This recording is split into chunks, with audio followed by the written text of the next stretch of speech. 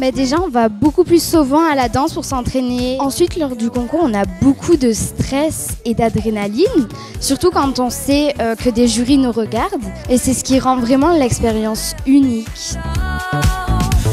Ce que je préfère en duo, c'est les portées. En duo, il faut avoir beaucoup de complicité avec euh, sa partenaire.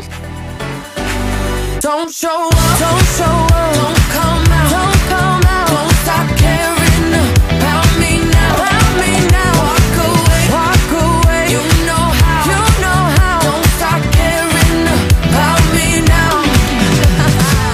La difficulté des duos, c'est surtout d'être synchronisés ensemble. Il faut être à l'écoute de l'une et de l'autre.